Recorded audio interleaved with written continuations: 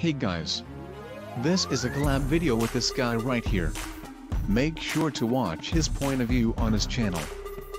By the way Althangout the movie is going very smoothly and it might be out this week. Anyway let's go with the video.